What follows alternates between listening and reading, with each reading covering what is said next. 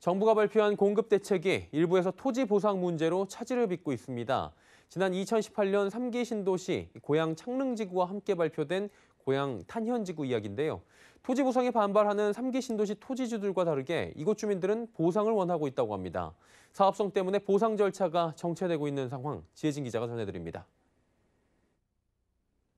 국토교통부가 3,300세대 규모의 미니 신도시를 짓겠다고 발표한 고양 탄현 공공주택지구. 발표 뒤 사업 예정 지역 일대를 토지거래 허가구역으로 묶고 지난해 3월에는 지구 지정까지 마무리했습니다. 그러나 토지주들과 인근 주민들은 사업이 정체되고 있다며 불만을 토로합니다.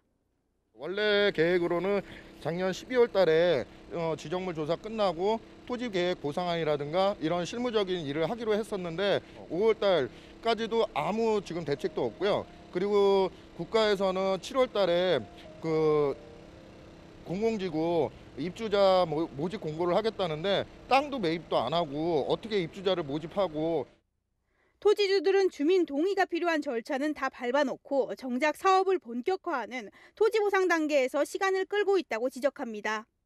사업이 지연되자 주민들은 보상을 서두르든 공공주택지구 지정을 해제하든 빠른 의사결정을 하라고 정부에 촉구하고 있습니다. 서울경제TV 취재 결과 3기 신도시를 비롯해 당시 수도권 30만 호 공급 계획에 포함됐던 이 사업이 밀린 데는 사업성이 큰 영향을 미친 것으로 확인됐습니다. 당초 이 부지는 도시공원 일몰제를 앞두고 고양시가 보상을 해줘야 하는 곳이었습니다. 그러나 지방자치단체의 재정 여건 때문에 정부의 공공주택 사업에 포함된 겁니다. 해당 지구의 면적은 고양 창릉과 20배 가까이 차이가 날 정도로 규모가 작습니다. 그런데 이 가운데 70%가량은 산, 남은 30% 안에 3,300세대를 짓는다는 계획입니다.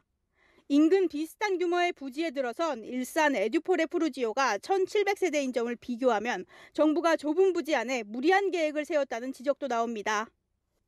사업 시행자인 한국토지주택공사 LH는 올해 고양 탄현지구 관련 예산이 책정은 돼 있으나 개선책을 찾느라 보상이 늦어지고 있다고 설명했습니다.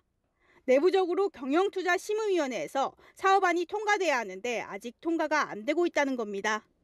LH 관계자는 민간회사만큼 수익성을 추구하는 것은 아니지만 세금이 투입되는 공공기관이다 보니 예산을 신중하게 사용해야 하는 측면이 있다고 설명했습니다. 서울경제TV 지혜진입니다.